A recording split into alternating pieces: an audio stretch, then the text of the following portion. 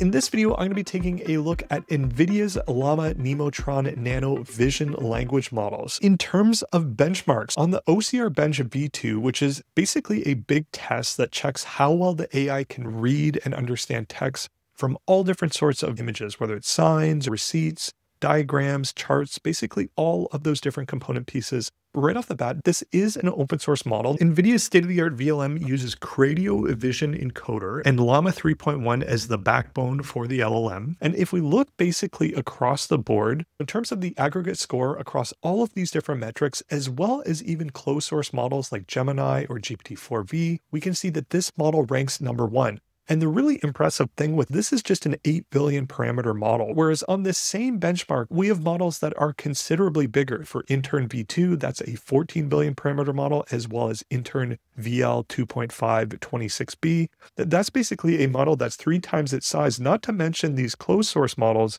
where we don't necessarily know the size of these models, but both Gemini as well as GPT-4v are way bigger than these models as well. So in terms of text recognition, we can see that this is just shy of Qwen VL7B. In terms of text referring, we can see that this is considerably higher than all of the other models at 69.1, whereas we have the second best model at 39.5. We have text spotting again at a huge leap from 61.8 over Qwen 2's VL7B. While this model doesn't outperform on every single metric, just to see some of the size of the leaps of some of these different metrics it is incredibly impressive. And the one thing that I do want to note with this is in terms of some other calculations like mathematical calculation, you will notice that Gemini Pro is better at math. The thing with Gemini Pro is this is a massive model. So it's going to be running on a ton of GPUs. It's also closed source and going to be considerably more expensive to run. Overall, this is a really great option in terms of those document processing use cases, because as you might know, running inference is probably one of the more costly parts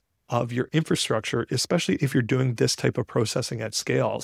So being able to have a smaller model that's more efficient unlocks a ton of different use cases. Next up, in terms of accessing the model, you can download the model on Hugging Face right now. Alternatively, if you want to try it out, you can go to build.nvidia.com and you can try it out on their serverless GPU platform. And the nice thing with this is you can use this free for development. In terms of the playground itself, it's super straightforward in terms of how to get started. You can go and grab your API key. You will be able to get this for free for development purposes.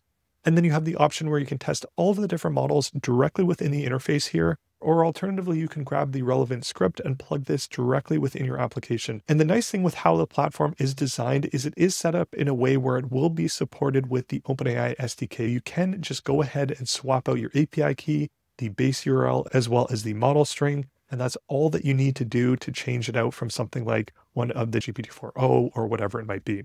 So now in terms of actually demonstrating the model, there are a number of different examples. I'll show you a couple of these just to show you how the model works. Within this image, we have a number of things going on. We have two different graphs. We have a ton of different text. We also have the y-axis of some of these different numbers. Then in terms of the question, it's a non-trivial question as well. For the mixture of experts switch XXL training, what is the speed of H100 over A100 and H100 with NVLink over A100, we can see that the H100 over the A100 is 5x the speed. With the H100 with NVLink over the A100 is 9x. So if we take a look at the image here, we see exactly what it's describing. Now I'm going to test this on some data that I go looking for. I'm going to look on the SEC filings page for Apple, where there is often a ton of really dense information within these Edgar filings. Just to give you an idea, if I take a snapshot of the financial statement of Apple here, within the screenshot, what I'll do here is I'll come up with a question that is going to be specific to one of these rows. I'm going to upload the image, and what I'm going to say is what is the year over year delta for net sales in products? Within here, we have it describing what the year over year delta is. And then from there, we have the equation that it came up with. And then here we can see the year over year delta for net sales and products is 2.74%. But now if I take a look at the financial statement, in terms of the equation, we had 68,714 minus 66,886, and then divided by this number, so on and so forth. The fact that it can not only just get the information accurately from the image, but also be able to respond and reason in a coherent way in terms of actually how to break down that problem it's super impressive, especially once again, given the size of the model. In terms of some of the other aspects of the model, it actually does support a number of different input formats. So you can input images like I just demonstrated, but you can even add in videos. That is one thing that I don't see within the playground quite yet. But if you are going to be running this yourself, it would be really interesting to see the results on how it performs with video as well. One thing to note with the model, in terms of the context window, it does have 16,000 tokens of context. That's just one thing to be mindful of. In terms of getting started with the model, they do also have a quick start guide, which you can go through that is on Hugging Face here. So you can easily install all of the dependencies, and they do have a great example here with a number of different images as input being passed in. Basically, in other words, the quick start has exactly what you need in terms of getting started. So what's really interesting here is they lay out how they use different internal data or public data for different parts of how they train the model. One way they leverage synthetic data sets was for specific tasks like tabular data understanding. That is potentially a use case where synthetic data sets could be useful, which is pretty interesting in of itself. Now, another handful of use cases in terms of how you could leverage a model like this. Here's an example of asking the model to extract the table in the image as HTML. Where HTML can be helpful is for things like rendering within a chatbot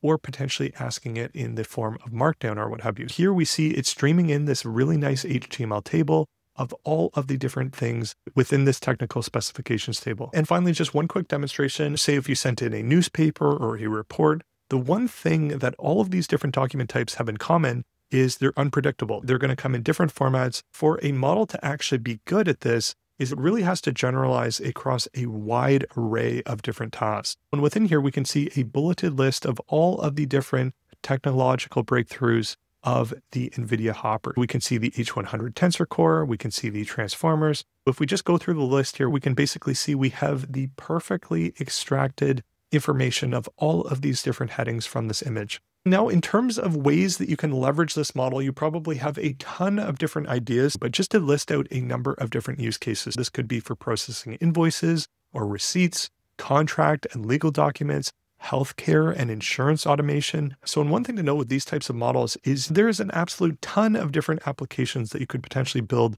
with this type of model. I saw recently someone had a simple bank statement conversion app that was making tens of thousands of dollars and this is the type of model where you could potentially make something like that if you are interested in building out an application for yourself. Kudos to the team at NVIDIA for this release. And if you found this video useful, please comment, share, and subscribe. Otherwise, until the next one.